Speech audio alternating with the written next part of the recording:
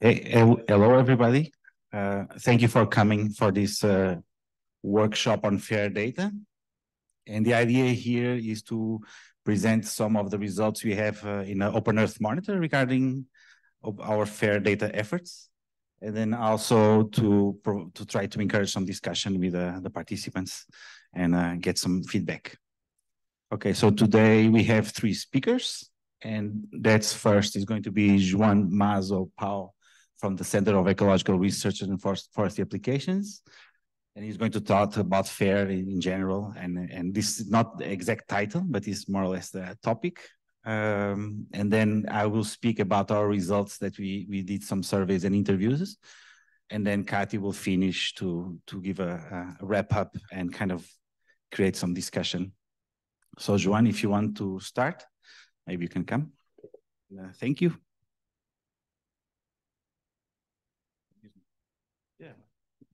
All right. Is that a, okay, clicker.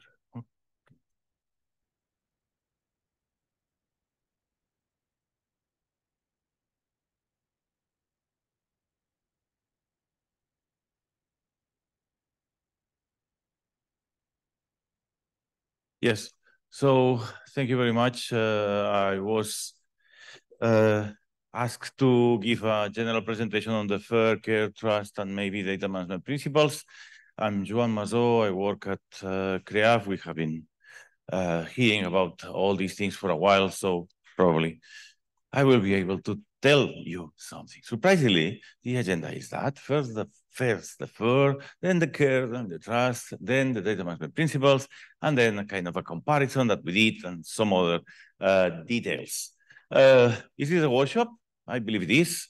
So the fair are very popular, but are do we know what we are talking about? Uh, sorry, because I'm looking at that because the, the, the slides are there too, no? yeah, yeah, yeah. Uh, very, very practical, actually. Uh, so uh, this is a challenge for you. Uh, taking into consideration the, the GoFair uh, definition of the three of the four letters, give me a couple of words that represent findable. Yeah, so how you will make your data findable? Browser? Okay, browser is a word. Uh, possible. Uh, anything else? Central repository sounds fine to me. Uh, actually, they talk mainly about uh, persistent identifiers and metadata. This is what the, the, the text of the four sub-principles you could summarize. I mean, the accessible is easier, I believe. Uh, more or less, we all have an idea of, of accessible. You want to try uh, a word that represents accessible? Give me a word represents accessible. I don't know. Services, uh, APIs, catalogs. So in, the principles talk mainly about open access and protocols, and uh, you can read there the, the four sub-principles. What intrigues me is the other, the, the, the third one, the interoperable. Uh, so what is this interoperability about in the context of FAIR? Standardization could be, that's a very generic thing. You can standardize in many ways. Say it again. Harm harmonization, yeah. Any other? So if, if, if that that's that's what I'm trying to say here. Sometimes people has a preconceived uh, impression on what those four letters represent. But if you go deeper, they only talk about vocabularies. I mean, you read the third two principles, it's everything is about vocabulary. So semantic interoperability only. Uh, and finally, how you make the data reusable from their point of view. Do you want to try?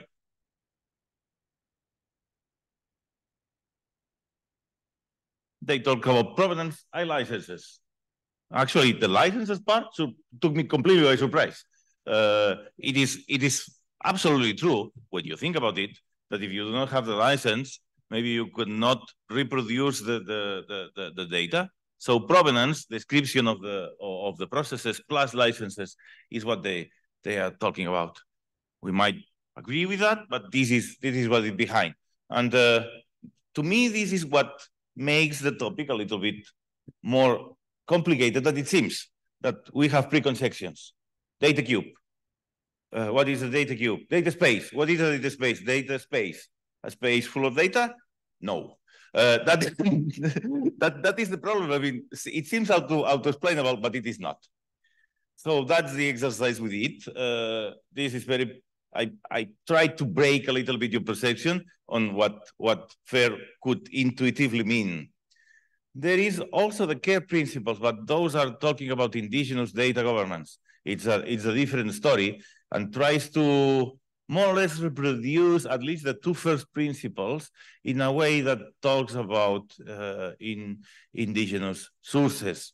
So they call about collective benefits in the sense that uh, you need to un enable the indigenous people to actually uh, derive benefit from, from the data. They talk about authority to control. That means that indigenous people has the right under control of their data.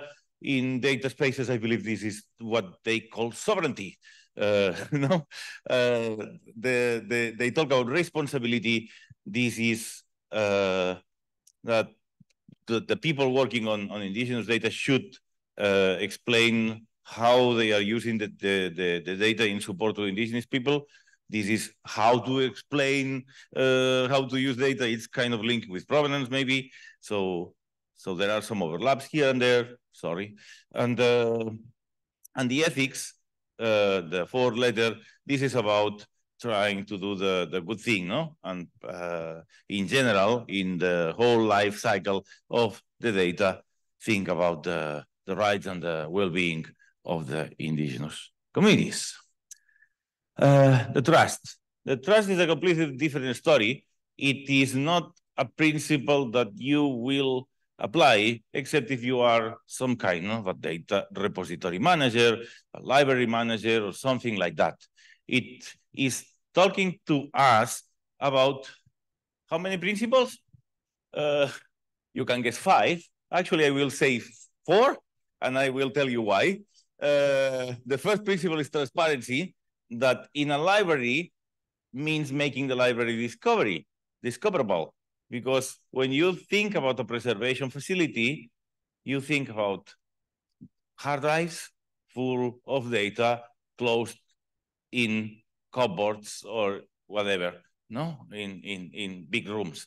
And this is not the objective of the library. The objective of the library is to store that, but put it, uh, put it again at the, the you know services of the user, so discoverability.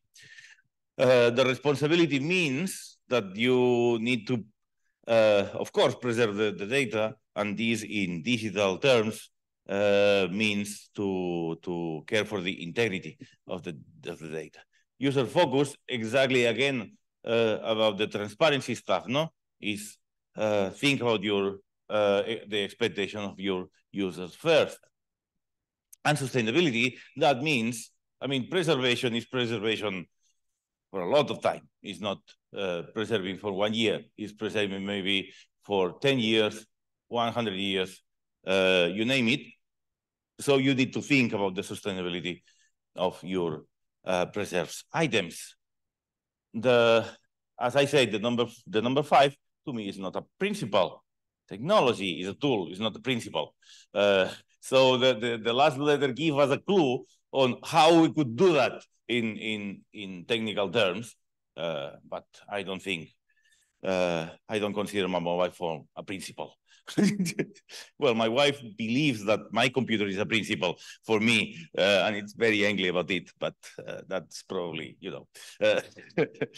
Uh, uh, let me try and link this with some of the principles that were the, prepared in Geo. And uh, I wonder why it says GEOSS, data, man data management principle, because, because it should be Geo. Uh, they are class they are 10, like the comment the commandments, no? The, the 10 commandments. Uh, and they are classified in uh, five categories, discoverability, accessibility, usability, preservation, and curation. So let's see what they say. This clicker is very fast. Wow.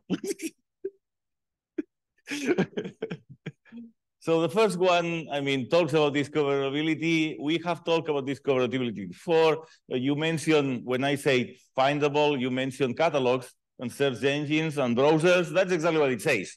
Uh, there is some metadata. I mean, metadata can be classified in uh, several use cases. No, the, the first use case is metadata for discovery. If you are curious, you can read what is for, for discovery. There, are, there is more metadata that uh, allows to document the data for usage and so on. It will appear later. Uh, online access, you can give a download button or you can give a service for access, visualization, or maybe even for analysis. So maybe you don't need to get the data into your premises. You have access by uh, getting some analytical platform uh, in in the other side of the cyberspace, no? And we have been hearing about these data cubes that allow for uh, to do that, the the the the OpenEO that allows to do that. All these things has been displayed here, so they support perfectly this principle. Absolutely. Data encoding. I can summarize this data encoding in the right-hand side uh, don't give me a PDF. Give me some uh, data that is structured that I can I can understand and use from a machine point of view. Give me a well-known format, common formats that are used and agreed by the respective community. And the last bullet is about don't give me a format that is void in semantics. Don't give me a list of numbers. Also explain me why what those numbers mean, what those columns, which are the variables, uh, which are the units of measures that these columns represent. Uh, as I said, principle number four is data documentation. The metadata comes back, uh, but in a more clear detail. CRSs, the meaning of the data, the number of dimensions, the, the space partitioning, etc., etc., etc. Traceability.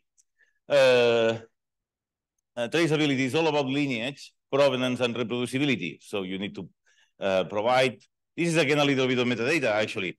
Uh, you need to provide where the sources of your data is, which are the processes applied, which were the parameters that were used in those particular processes, how the processes are chained uh, together in some kind of a workflow, uh, and who were the people involved. Come on, Yes. number six, data quality. Uh, of course, you need to uh, accompany the, the data with data quality. This is not very explicit in the first principle. I believe this is a flaw in the first principles. Uh, data quality is really important, and it's not there. And uh, I would like to, to, to emphasize this in particular. Maybe it's a little bit represented in reproducibility, but in a fuzzy way. If you go into the details, you don't find it explicitly uh, how to do that. I mean, you can have a report, you have you can have a specification and say that you're conformant to that. You can have a numeric indicators. I like the, the, the, the last one because if you have numeric indicators well documented the meaning, you can compare. And you can compare this data set. It might be uh, better for me because this particular parameter that I'm sensible to that, this is the parameter that satisfies my requirements. And uh, of course, there are several levels of quality. You can specify the quality at the product level, at the, I don't know, the sheet or the individual file level, or even at the observation uh, level. So at pixel by pixel or measure by, by measure. I'm bored. I need some kind of a funny story in between of this. No, this is this has been so many uh, so so many uh, you you know principles. Uh, give me something that is a little bit of a fun. Okay, can you believe that uh, in the 60s the common practice in the BBC was actually to uh, record programs, transmit them, and destroy the record. And that was because at that time magnetic tapes were re relatively expensive, so they were reused and by reusing the tape, you will not reuse the data anymore. no, of course. So it seems that uh, this is a popular uh, soap opera that the, the BBC produces. It's called Doctor Who. I am a particular fan of it. Uh, but the, the original episodes, those are 253, it says, 97 were, were completely lost. Uh, just because there was no record whatsoever. Uh, there were some, you know, you know how this is called, no data rescue. There were some some activities on data rescue, and they found in the U.S. Uh, some tapes uh, because they shipped those tapes in order for this NBC or whatever uh, channel to actually emit them, and they were able to rescue them. So this emphasizes how preservation is important and how criteria uh, on what is going to be present and how changes during time. At that time, uh, repeating a soap opera in on TV was not invented. So, you know, this thing that it's so common now that you see uh, series of the 60s, 70s, and so on was not invented there. Things were just transmitted, and that's it.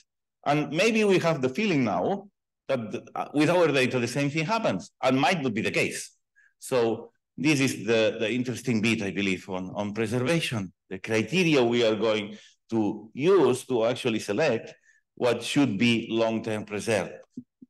Uh, and uh, we, we have now these uh, solutions for the long tail, the Zenodo, the PANGAEA, and so on. Small actors can use those repositories. Big actors, they have their own uh, preservation mechanisms. The, the number eight is about data metadata verification. It is, if you are storing things, sometimes they get corrupted. So you need to verify integrity, authenticity, readability, and there are several mechanisms to do that that I will not read now. I hope that the presentations are made available later. Uh, it is not only about reproducing, uh, sorry, about preserving, it's sometimes about reprocessing. And the famous example is, of course, the Landsat series. Uh, they now have recently, well, maybe not recently, but relatively soon uh, in time, close in time, sorry, they have released this collection too. And this is reprocessing everything from the very beginning. So it's not about integrity, it's about I just have a better algorithm. So I will re-execute it in the whole time series to have homogeneous uh, time, time series, no? Maybe because some popular new formats appear, or maybe that new algorithms also appear. Number 10. Can you guess? Which is number 10? uh, number 10 is actually the first thing that we mentioned in FAIR. Do you remember? Uh, persistent identifiers. So number 10 is about persistent identifiers. This is one of the criticisms that I have on the data management principle, they don't match completely with the FAIR, and I will tell you why. So persistent identifiers, of course, all, we all know what they are.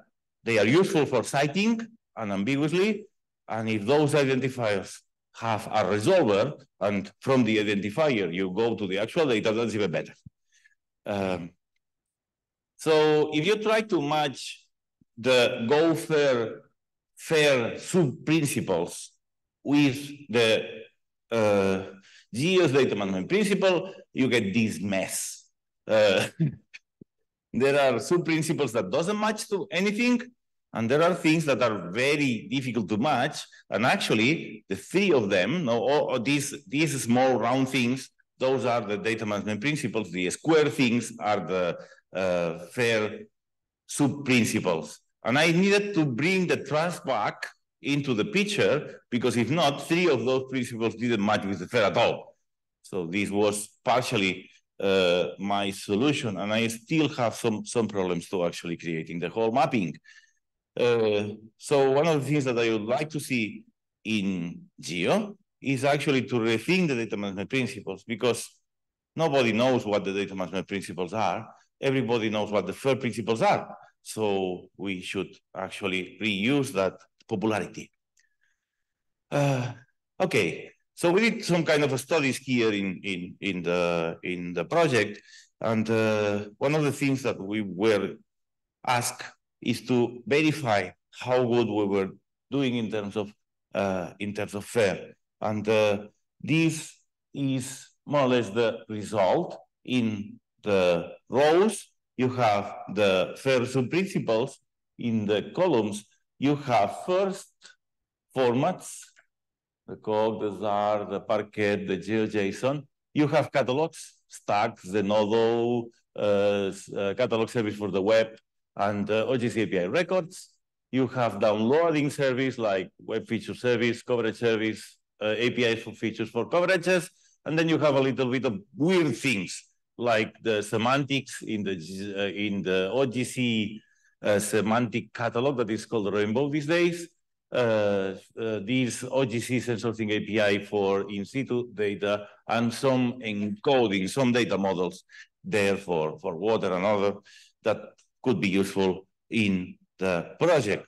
We are not going in the bad direction, as you see, there are there is a lot of green, but sometimes the things don't match perfectly, could be improved, and there are comments. No, this this uh, half means that hmm, we can improve there, and uh, this is just for for 12 sub principles, and uh, this slide didn't didn't allow me to to have the full table, so that's the last part. Uh, when we go into reusability, we are a little bit white, so that is not so good, but well, uh, there are ways to improve. Finally, let me just tell you that there is this data management principle self-assessing tool. This is something that is in the GeoKnowledge Hub. That if you want to know how good you are doing in on FAIR and data management principles, you can uh, take it. It's just an Excel file with set of questions, and you will get some uh, punctuation, some results, some qualification. Uh, thank you.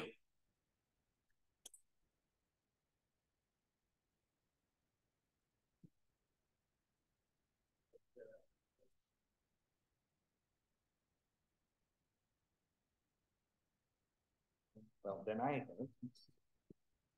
so, you said that there was um, mismatch between a data management plan and FAIR, and that FAIR data should kind of lead in the geo, uh, the new data management plan. So, and how would you go about doing something like that? Um, yeah, well, the, it is not easy because, uh, I mean, the data management principles are relatively known and old and consolidated in geo. So actually do this change uh, is not a thing that you that you do in a week. Uh, but I believe we need to start the, the, discussion because if not, we are as a geo community, we are closed in our own environment, but everybody else is using other criteria. So that, that's not a not a good thing. So uh, I will say that uh, starting by this uh, mapping that uh, I produce, the first thing we need to do is to actually resort the principles. And this is kind of a weird because the the commandment number number five, uh, don't kill, uh, will become commandment number three, and then all our religion pieces will will go away. but but but this is necessary, I believe, uh, because if not, you know, the things don't match, and, and we need to to talk the, the language that that everybody in in data science is currently doing.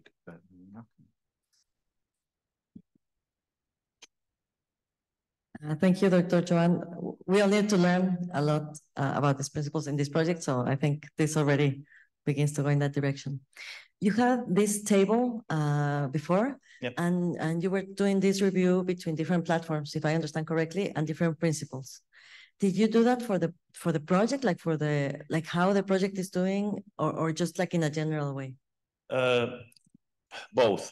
Uh, uh, we we selected. Uh, I mean, if you remember, we selected in columns what the project is actually using. So if I was in another project, uh, the COG, the Zarr, the Parquet, uh, those will not be in the first place. But you know, in in this project in particular, the the the Cloud Optima GeoTIFF, the the Zarr and the Parquet, all these um, formats that are classified or, or structured in tiles and chunks and so on, they are very popular here because they want to do these super big maps. So you need to uh, tile your your your your stuff.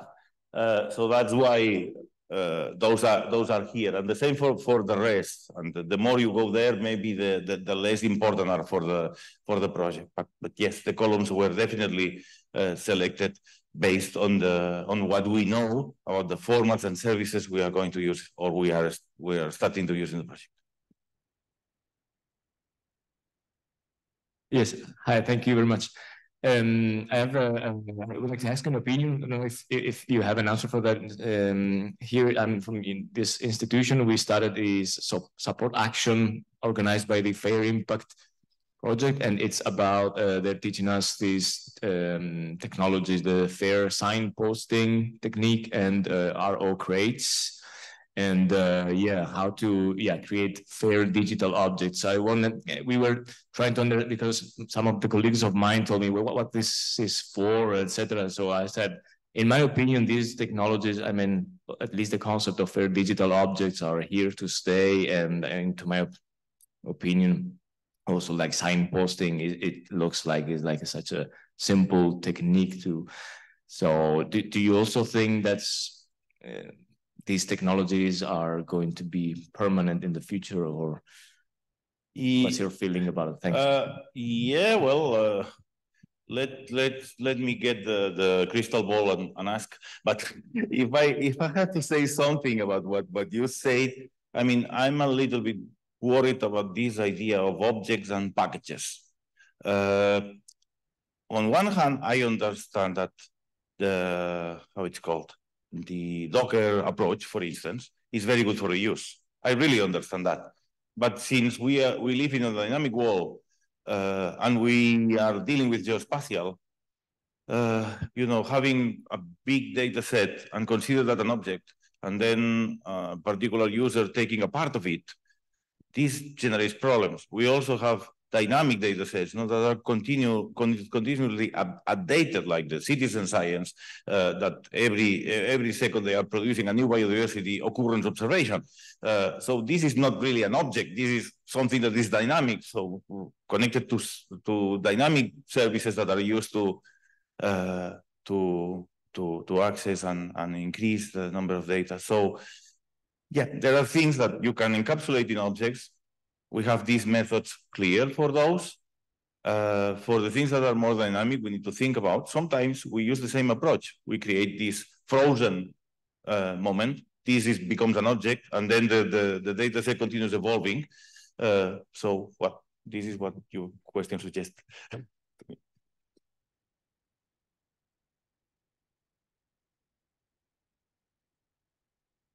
Uh, one, uh, I mean, I suppose that we are supposed to enter a sort of discussion mode, right? So I like to make some comments. Uh, first of all, thanking you for your presentation, but I would like to, for us to take a look at that uh, table there, which summarizes your work. There's some response here, maybe. Should I turn this off and speak, or should no? No, no, no, that's fine. no, there's uh, yeah, there okay. is some kind of an echo, isn't it? Yeah. Yeah. yeah. Okay. Let's let's look at the uh, the horizontal line. I think we need to to understand a little bit why uh, what is used for what and what is, let's say, relevant to the community of EO. And out of what is relevant here, I going to argue just provocatively that uh, the most relevant of these protocols is uh, by far STAC, which is really a protocol. I, I, I think by putting COG and Zarr there, there is COG is a file format. It's not a protocol that I can use. It's a file format that it's there. So, uh, of course, I will concentrate. In GeoParquet, I, will, I don't think there's enough, um, let's say, maturity there for us to consider. Now, if I say that STAC is, is important to consider, what actually we are saying, and it shows on your screen, uh, on your table very clearly, that OGC is doing a bad job. Now they're trying to catch up by putting stars. But you look at how little WFS, WCS, the features and the coverages and sensors, you know, if let's from half of it, it's uh, uh, OGC, and they fail in most of what it's doing. So, in a certain sense, uh, we should consider that at least for the project that we're doing that has a finite time and uh, STAC becomes the most important thing here. Well, Zenodo is not a protocol in the sense it's a place that I can store the data. So I would argue that then I would then focus on the STAC column. And as a user of STAC, I would argue that they meet uh, F3. Uh, uh, then F3 is metadata clearly and explicitly include the identifier of the data they describe, and that is available in STAC. Uh, so uh, I would tick F3. Mm -hmm. Now, I agree with you that A2 metadata are accessible even when no data are longer available. That's probably true that they don't accept. Whereas uh, I1, metadata user format accessible, shared, and broadly applicable language for knowledge representation, I would argue yes, including because you may uh, or may not be aware of the that STAC supports CQL2. So now, uh, well, again, it depends on what you consider a language for knowledge representation. And that's, again, anybody's choice. I would actually go for yes there. Mm -hmm. And metadata use vocabularies that follow FAIR principles that's anybody's guess what are vocabularies that follow FAIR principles.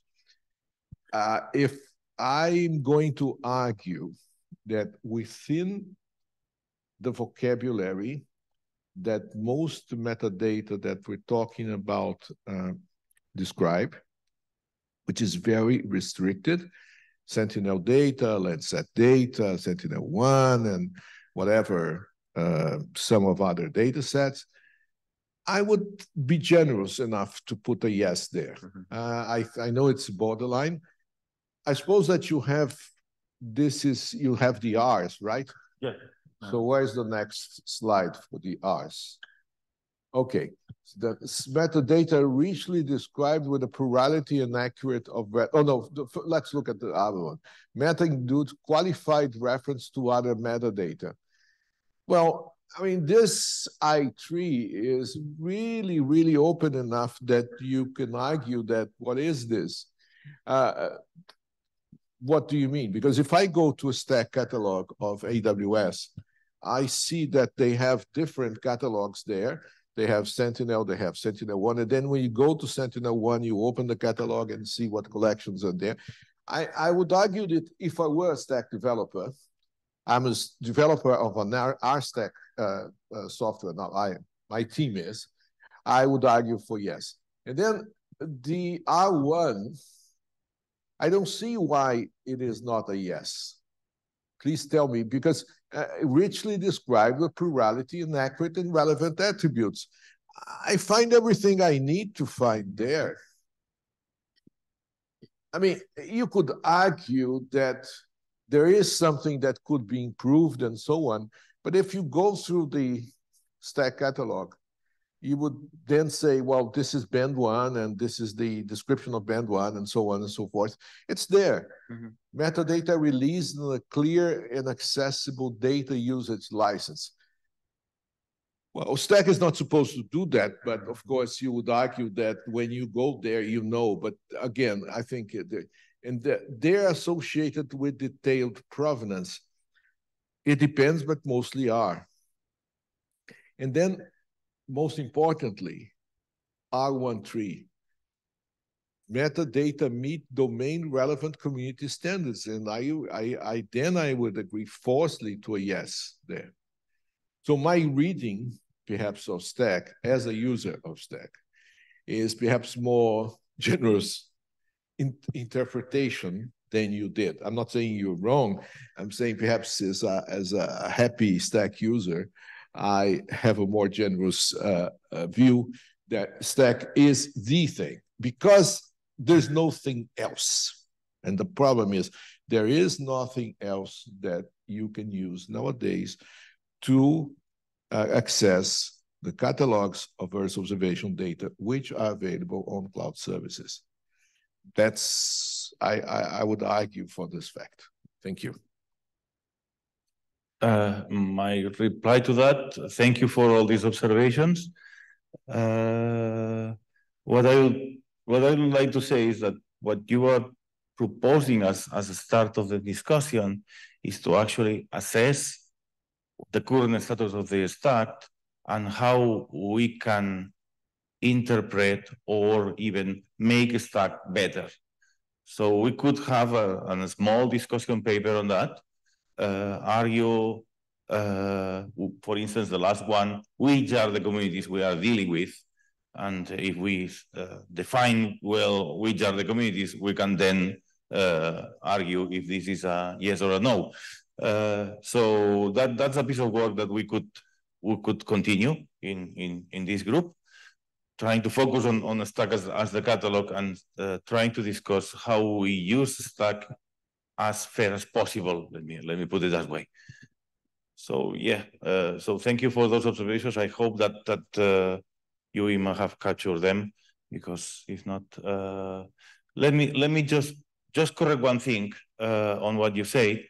Uh, when in the column of COG, I'm considering COG plus HTTP range as a whole thing. So if you set a COG in a HTTP range enabled web server, that is everyone these days, you can request fragments of the COG directly from the client, and that replaces a protocol. And in that sense, I was thinking about the COG as all, also as, as not just as a form of as a protocol. Uh, uh, to me, this is important because it's it's kind of a. I mean, I have been working on on WMS and so on for quite a while, and when I discovered COG, my frustration was, come on, this is working much better, and it's not WMS and it completely replaced WMS. So actually, it's a protocol. Uh, so this is the, but this is not because it's COG, it's because it's, it's used with HTTP range as part of it.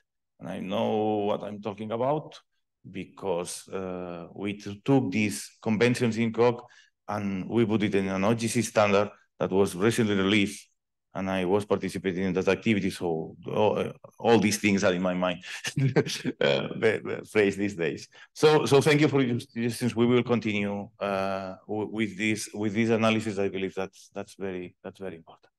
Okay, great, great, great discussion. I mean, we have some other presentations, so maybe we move forward for those.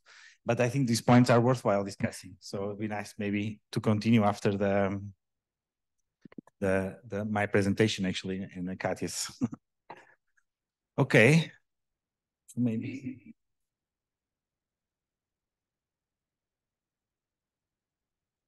Yeah, yes. I will be behind.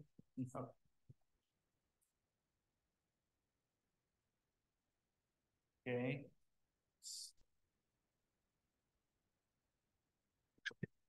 So my name is Nuno and I'm working in GFZ.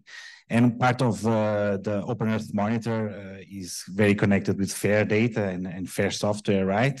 And one of the working groups is actually focused on this type of uh, tasks.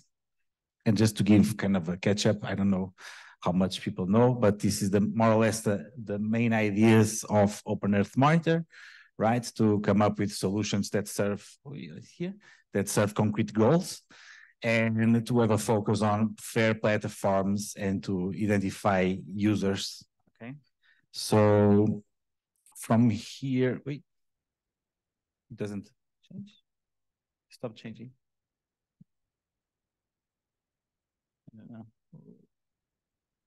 Ah, okay, sorry, it's not working. Okay, uh, so so what happens is we have a, a work part of our uh, people working in the project are actually focused on on helping in fair user driven uh, systems uh, and we work with the multiple packages to try to bring them you know some fair principles into their work and include fair fair fair approaches in their software development. And the approach used on developing solutions in Open Earth Monitor is based on use cases and I've seen a lot of these use cases being presented during this conference. Um, so in two, two ways we went about to try to get an overview of fair data was to first uh, make a big survey that we invite our network and then we we use the use case interviews where we are discussing the requirements of each of these use cases to bring some fair questions as well. And this is what we're going to bring bring uh, bring uh, in this presentation. And the idea today, of course, I already said, just show the results and of our tasks and then have some discussion. Okay, so ah, sorry, yeah, this actually doesn't work well. it's a bit, it's a bit either fast or too slow. okay, so so just to give an idea of our respondents, most of people came from Germany. You can still the survey is still online, so you can go there and answer. We had a good overview of different fields of people that responded our broad survey. So this is something we sent to our networks by email, by message, by Twitter, right? We have a big bias in terms of responses. Most are uh, users and most are male. So that's that's something we always tend to find in these surveys. It's a bit disappointing, but uh, it's what we got. Um, and then, uh, just to give you an idea of the results, so in terms of uh, geospatial data that people are using or working with or producing, users are working with remote sensing data and derived products and also in situ data while producers also remote sensing, but not so much with in situ, obviously. There's also a bit of a mismatch of scale. So lots of the producers work with global data sets, so they serve global solutions, while the, the users are mostly focused on local, more local areas. And this, I think, is something that goes around remote sensing, right? You have these big data products for the entire world and people are trying to solve local problems, right? And uh, this is something we observed in our survey as well. Uh, we asked them about feature, important features of data. These are all questions that relate with FAIR principles. So that's the intentional, right? To try to bring their, their perception from there. And we see that the main point is data being findable and data being open. Open is not a FAIR principle, but it's, it's uh, one of the questions. Uh, and then we find that licensing and, and uh, metadata, those informations are important. So people understand what data they have in the hand in the, and they can find it. So to, to be able to know where the library is, like the example of Juan, and then to find the book that you want to buy, right? That's the idea here. Uh, wait, uh, wait, uh, yes, problematic features. So these are features that are problems that you have in your data. And, and again, here in this case, we mixed all the producers and users. So that's important to say uh, because the responses are same, similar. And the main the main issues are obviously data not being open. That's something they said was important before, and to have incomplete information.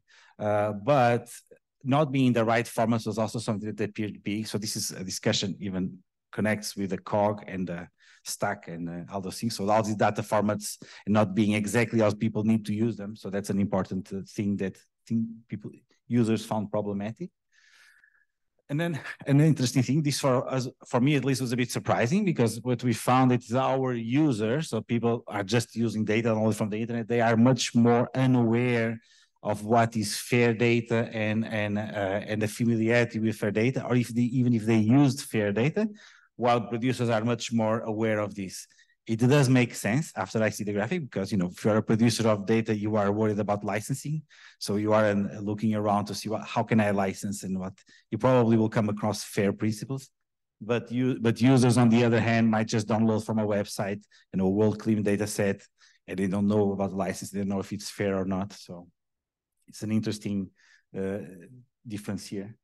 And this translates also to the barriers. So I think most users say we don't know which data is fair. We don't know, we think the lack of knowledge of what is fair and the benefits is the most important things. And I, do, I don't know, they, they even have a big portion saying, I don't know what is, uh, uh, how to respond to this question. Lack of resources and missing incentives on the other side are the most important for producers. Again, all these efforts to catalog data, put data outside and store data, this requires extra costs, which might be most likely what they consider to be a barrier to make the, the data open. It not necessarily is a benefit for their own process. Um, and just to give a catch up of this section, so we have a big bias in our data set, mostly from Germany because I we were doing it from Germany, right? Uh, and also male and, and uh, 7% are mostly just users. We find that there are some different expectations in terms of data. So producers are producing big global data sets. Users want local solutions or local or more regional solutions data being findable and open is and well documented is the most important thing. And then the barriers are lack of knowledge for the users and lack of resources incentives for the producers. And this is maybe an opportunity. So in one sense, we can contribute to fight the lack of knowledge and awareness. And in other ways, there are opportunities to make make it cheaper, maybe, or make it reduce the cost of entry for your fair data in a, in a company. That could be a, an opportunity in the future uh, regarding interviews, so this is an opportunistic situation. So we have all these partners working with us in the OEMC project, and we have 32 basic use cases or main use cases that are being used to lead the development. We did this, you have multiple stakeholders, and we had interviews with them, or most of them, to try to collect, you know, what are the user requirements in terms of data. And also we put some fair questions, and we see this kind of, some of these participations uh, that are working with us. Um, okay, so in this case, what we see is that for, for example, research sector, so we divided them into four groups, broader groups. So research sector, basically, for example, joint research center, uh, private sector will be companies, NGO will be maybe like WRI, and IGO will be the UN, for example. We have lots of partnerships with the UN, so those are participating here. You see like the research sector, there's a big very important on reusability, reproducibility, and accessible.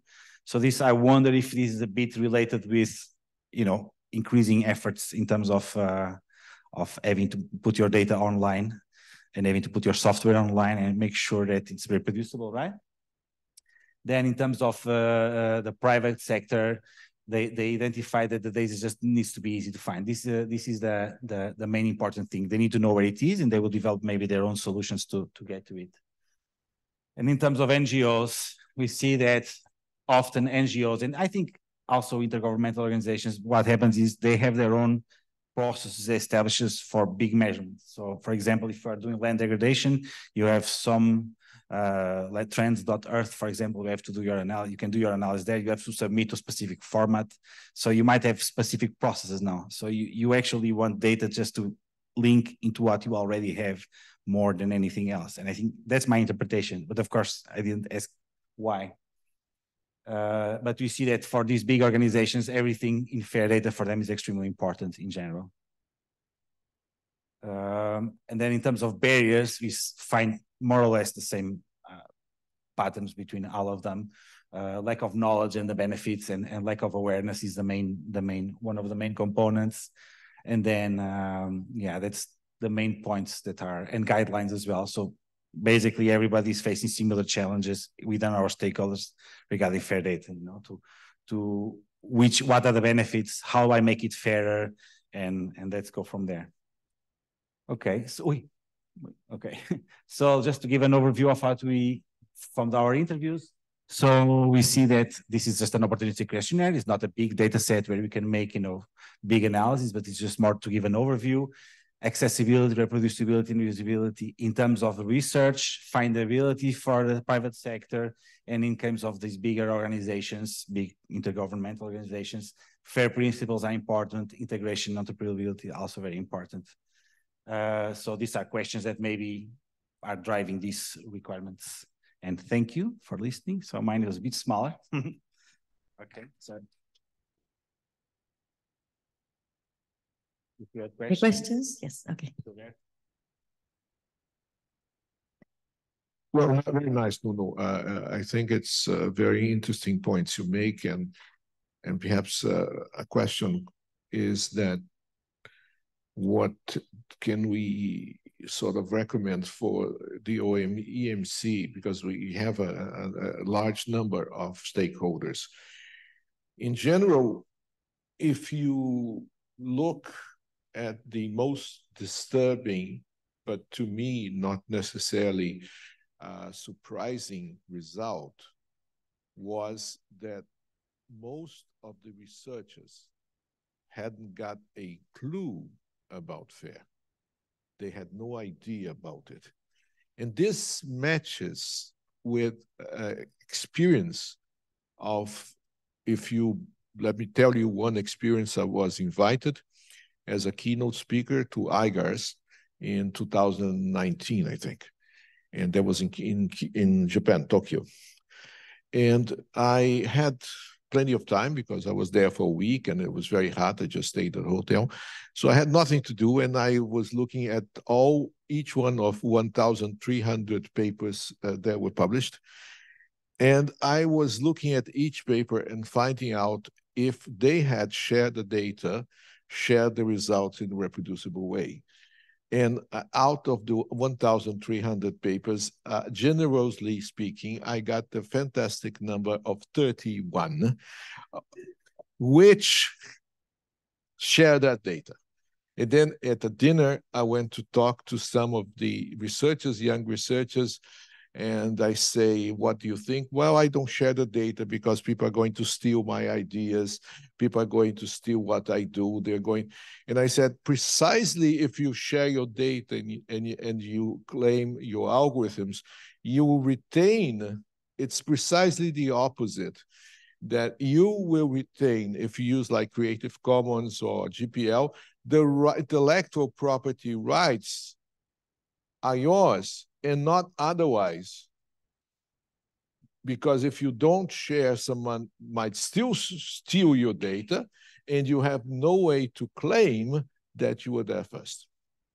Now, that has to do with the fact that our journals in the area, not a single journal has, no, yes, there is one, the Journal of Statistical Software out of this whole area, lots of journals, if I can think of, I can think of no other journal where you are obliged to produce your data and your software.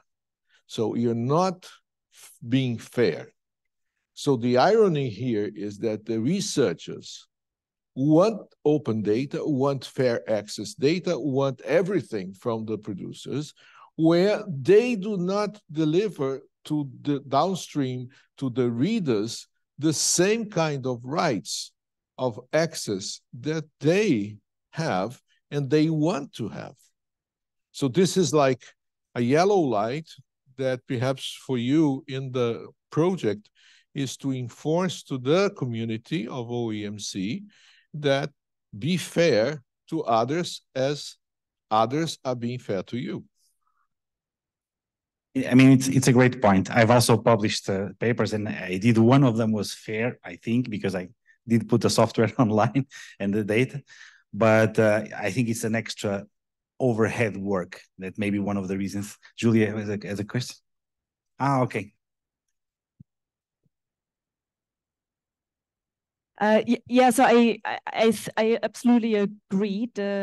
Challenge I see is that at the moment um, in science and in research overall, the the incentive to or like the the benefit you get from is by publishing. So like it uh, increases your reputation. And I think we also have to rethink as a community that um, you should also get benefits and incentives by making your research and workflows reproducible uh, because at the moment it's more the extra mile. So no one taps you on the shoulder maybe just one one person on a conference okay great. But it's not as like uh, as a reputation if you make your data and code um, reproducible. And this is the challenge because it is actually a lot to do right? It's the extra mile. And this is actually not only one day to make things reproducible. Um, if you have a paper then yeah, you have to think of maybe making a smaller data set available. Then you have to add the documentation, and this can easily add up to a week's work. And the question is, okay, do I get um, the enough benefit from it? Um, do people appreciate it um, enough as a scientist? Do I do I get a, a reputation out of it? And I think we also have to think of ways how to incentivize uh, to publishing reproducible workflows?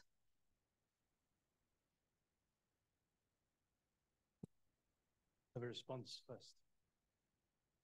Of a question, like, how would we go about creating those or encouraging those extra incentives? So, I mean, just telling principal investigators to force their, because they are editors, they might say,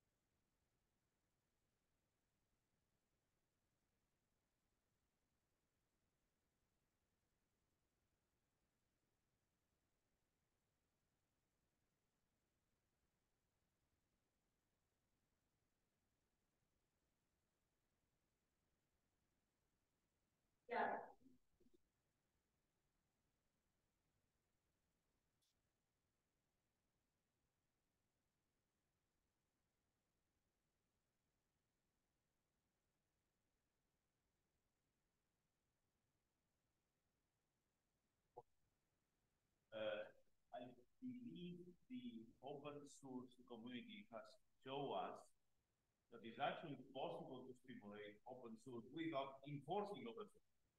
Uh, they understood the benefits. There's people making money by deploying open source and so on. There are business models behind.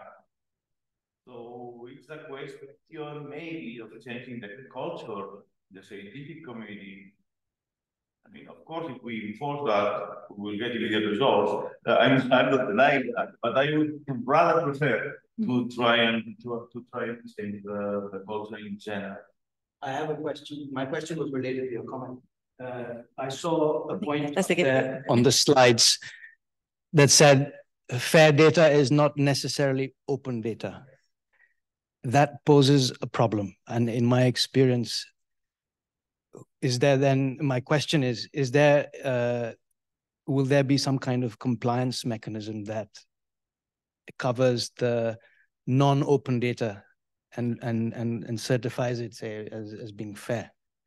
Because I'll, I'll give you an example. Um, I published uh, an open data, an open access article.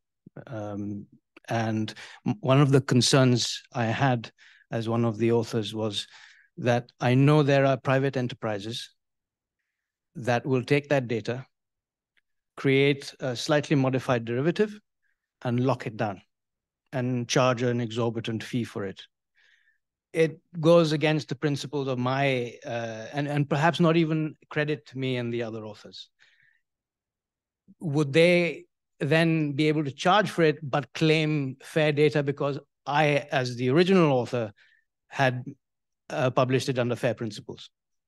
This is going to bring a lot of discussion. So let's see. let's see to to yeah. I mean, just answer that one. It depends on the license. So if I do a CC, uh, CC, no, CC non-commercial by attribution.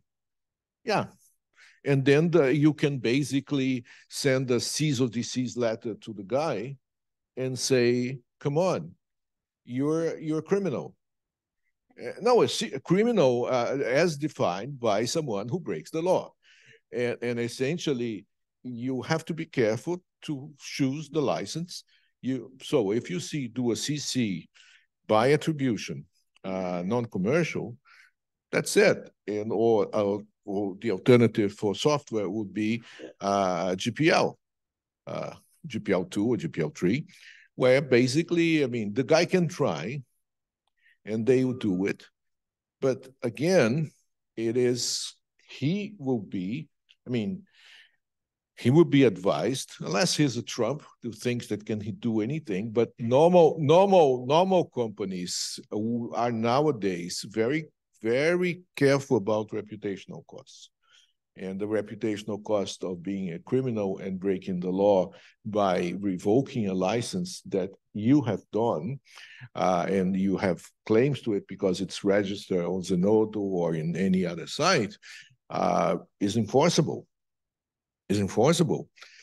And, it's enough that people get aware of that. So you should never publish your data without a proper thinking of what license uh, you would attach to it. And then at that moment, you claim intellectual property rights, and the guy who used your data is obliged to follow the license you put. I agree. One, one final add-on to that. Now, change in culture. The journals, there are some journals that object to the use of these uh, add-on clauses to the CC license. For example, they consider them very restrictive, uh, the, the non-commercial one. And I, I, personally had a discussion with one such leading journal, and I, I rationalized and explained, and they let me publish, let us publish our, our article under the non-commercial license. But it, it's a challenge. And now again, we feel pressure to remove the non-commercial, but we are aware of companies just watching like hawks. From those companies, right? Yeah. Yeah. Yeah, Yeah, I mean, I think this legal, I, I mean, this legal, when it becomes very complex, is really not my field, but, but I think it's one of the risks, of course, right, of publish. But that happened before. But I think something Gilberto said earlier is like, if indeed you are putting licenses in your software and in your in your data, then basically we are putting a legal, like a legal window that protects you, right? If I put code now in my GitHub without any license, it can be copied by anybody else, right? Uh, uh, I you we have entered into the the, the data, data space arena again, and I would like just to clarify something we need to focus who is the enemy here. Uh, yeah, so we have two levels here. On one hand, we have closed data, data that you will not access because you don't even know exist. And even if you ask, you will be denied. This is mine. Another thing is data that is shareable, so it's offered against some kind of compensation uh, I believe that those two needs to be really separated. And, and of course, at the very bottom we have open data uh, and party. Uh, but but you, you know what I mean, no? I understand the scientific community has its restrictions in funding, so it's better that we do open science and so on. But we need to focus on what is really the problem here. The to me, the main problem is there are some data sets that are sitting on some kind of obscure places and it's better that we have them available, even if we need to, you know, pay for some cost.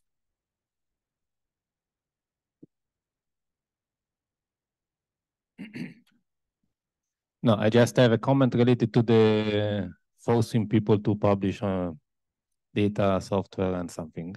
Actually, we are we have now a, a big problem related to the publication. Publication system is completely broken. If you want to publish, everybody can publish and uh, reviewers are exhausted, editors too. And so actually the system actually is not really working. And if you publish something, basically nobody will read what you do. The only way to make it, uh, so it's a problem for one side, but on the other side, it's an opportunity because if you want that your uh, study, paper, data, whatever you do is seen from somebody, you have to make all these kind of things. So we are not going to force people um, with constraint from journal or whatever, but I can imagine then um, that before or later, at least in this field, in earth science, it's um, mostly something that will happen by without doing anything. Because actually, if you want to make somebody using your data, you have to publish. Uh, you have to, if you want to make somebody reading your paper, you have to make it reusable. Otherwise, otherwise it's. Uh, so I don't think it's probably before or later the things will change uh, without any constraint. I don't know. That's my understanding. I don't know. For, for, for me, the conversation, the only thing I see is a, a researcher is, you know, I see people will go to study biology, in their university, and they maybe do a PhD in biology, and they have to become programmers, and now they also have to become understand licensing and understand. You know, it becomes a lot of skills for you know a single person to be able to to work in science is becoming more and more complicated, I would say. So there's a side to it that I think, you know, at at some point we should be able to delegate this this type of decisions. No, I'm not sure within our organization or to the journals, you know, because otherwise a researcher will have to be everything and nothing at once, right? So that's a comment I make to the conversation. Well, uh, let me just go back a little bit and try to answer Jose's point. Jose, one point. One, I think the way I see this task, this is my view, not necessarily the management's view, is that the focus should be on the project itself. So what I would imagine that you could do as task leader or the task leaders is to go through the various projects, various case studies, and which are being delivered or will be delivered as part of OEMC. Now, for each case study, you need to assert that if is the data fair, is the data open source, is it available? My point here is that if you come up with a project for the European Commission and you promise openness, open earth monitor, and part of your, I haven't looked at the license, so I have no, no idea whether everybody is playing fair and everybody is complying with the license. But the project itself, when it was sold to the commission, was sold in the assumption that data would be made available, software would be made available, and things would be reproducible. So I would focus on what the project is supposed to deliver and look step by step at what are each components to make, I mean, it may have a case where there's a good reason why the data is not open, perhaps, or perhaps it belongs to uh, someone else before, or the software is inherited from someone, fair enough. But at least I hope that someone in your task would come up with a list of recommendations I can help you because I'm hired to do this as a consultant, but to find out uh, whether OpenGeoHub and the project team runs a reputational cost by promising something and not delivering what it promises. And this is not our enemy our, ourselves, just to not enemy. We should concentrate upon ourselves because we can change ourselves because people who sign to the project are bound to certain rules.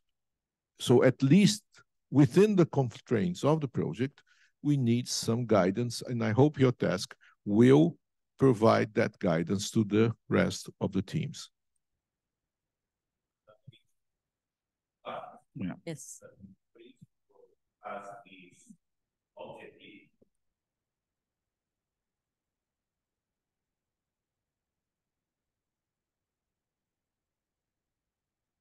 Yes. So, so I think maybe we should, Katya, you we should move to your presentation, right? Uh, unless anybody that didn't speak yet wants to say something, just to increase a bit the input. I guess not. So, uh, Katya. Yes, this is perfect. Actually, it leads very nicely to the third part of the workshop. I will not present. I am here to learn, actually. I am not at all an expert in that. I'm learning a lot. Uh, but uh, the, we wanted to make this last part of the workshop exactly what has already begun. And I thank uh, Gilberto and Joan for their comments in this direction of, yes, we there are many challenges in terms of uh, open data and fair data and so on, uh, but we need to focus on our projects. And how do we do that? So uh, this discussion will not be exhaustive today, but uh, we take the homework of thinking we have six years to make it happen to make this small change in our project happen of having our use cases actually be better in this direction. So um, no surprise, I think there is a big problem of lack of knowledge that's uh, already established and that should change. Uh, how do we do it? We were talking about maybe some internal workshops paid by the project to all uh, the, the consortium so that we, we begin to, to to be a little bit experts. We're never going to be experts, as Nuno said, but we do need to to to do that small step for our user cases wherever we are, right? To to gain a little bit more knowledge. Most importantly, as has already been highlighted, uh, this is not a matter of, of uh, it will be nice. Uh, the, the call itself has a component of, uh, let's remember, remember the objective of the call was to enhance the fairness of environmental observation data. It's an objective of the call. We applied for the project, we got it.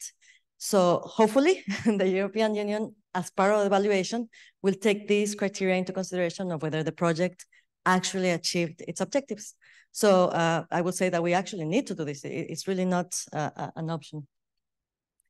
Uh, the idea was to start the discussion on how we can do it. Uh, so uh, I make the commercial of work, work package eight. Uh, Beatriz, uh, Diego, and, and me and Lea are part of this work package of communication. Uh, we can have uh, many activities done, but I think it's best that we try to um, coordinate. So for example, we were talking about scientists learning about fair, fair data, that's important. But how then can we use our communication tools to help us learn about this communication data? We have a glossary campaign. Uh, we want to use this opportunity of the glossary campaign in our project to have uh, uh, more uh, information around. We have already two uh, concepts of fair data and open data. So I will contact you guys directly on what do you think could be the definitions in these concepts that are like basic enough for the consortium to know which other concepts should be there. And this is like the internal campaign that we can manage. Um, and I think from what Nuno was presenting, and we in IIASA were also responsible for uh, the, the, the same interviews. At least one panorama in my mind is, is that unfortunately, we are not a very homogeneous project, right? We have objectives, we have uh, uh, use cases, but the use cases might be in different um, levels, let's say, of of uh, using fair data and of uh, having uh, accessible uh, data sets, right? So then how do we do it? I don't think it's a simple challenge. It's It, it can be a, a, little bit complex in the sense of we need to, to see where we are at use cases and then see how we can advance a little bit. So I wanted to see how many of, of you guys here are actually representing use cases. So you can raise your hands. So there's one, there's two.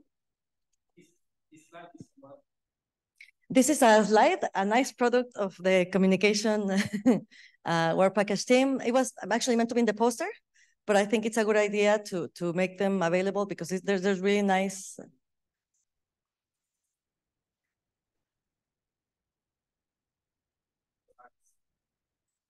Yes.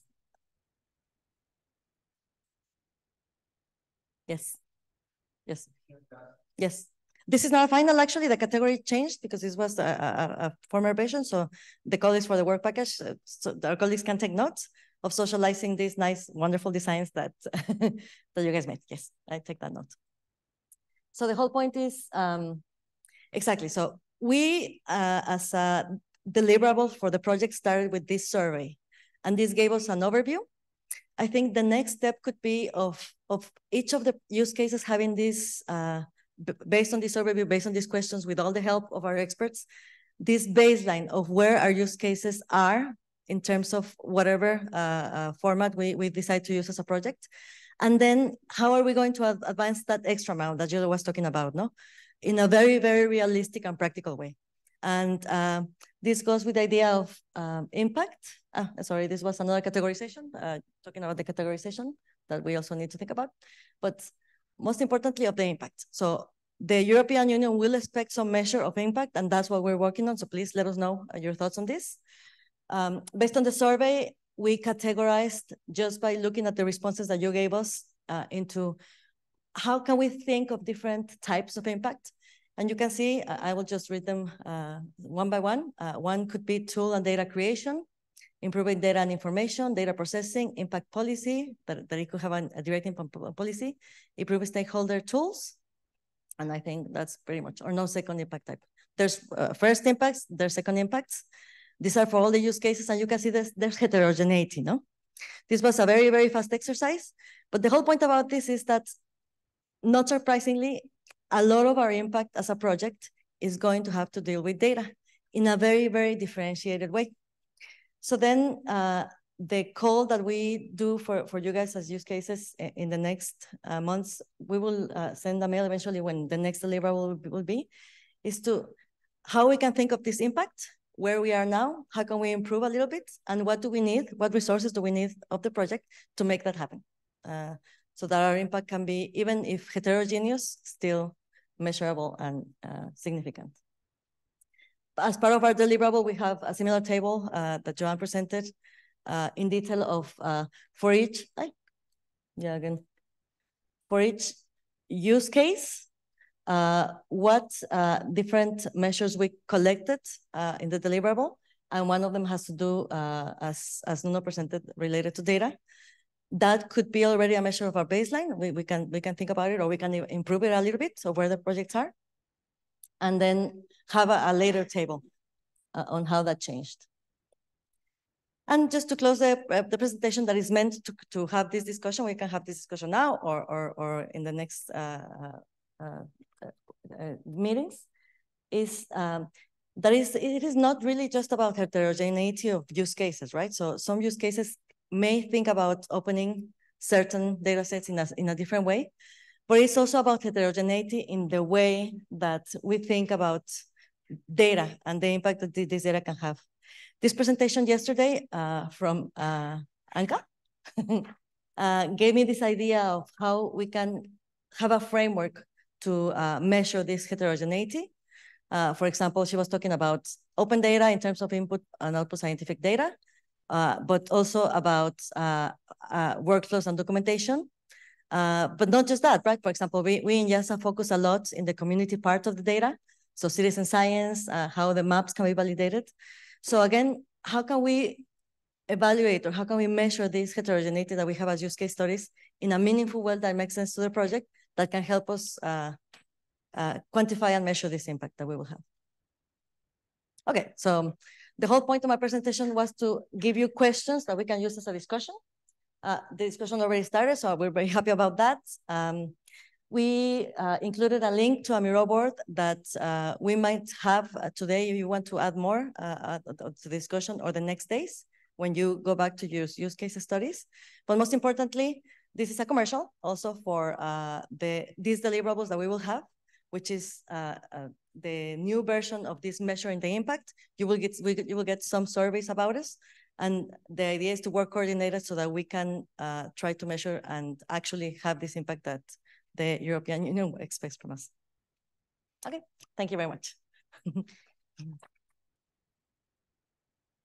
So I want to ask, ask for questions because I, I was not presenting. Uh, the idea now, uh, we have 10 more minutes if we want to use that for to continue the discussion that was already going on. Uh, but it doesn't have to happen, of course. We can just continue it uh, uh, uh, in the next meetings and months.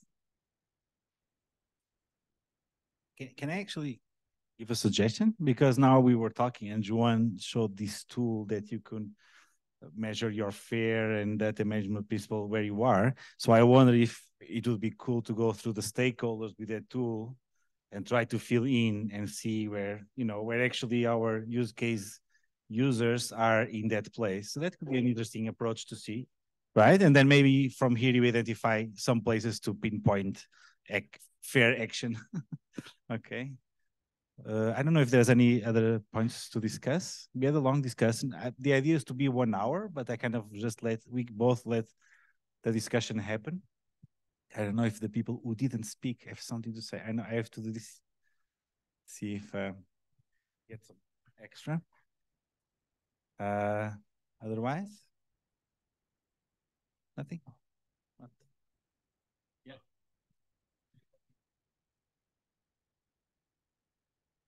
Huh? Okay. Okay, that, that came to my mind, but maybe it's useful for us. So if it is true that FAIR is not open, it's just FAIR, so making your data accessible, I propose this.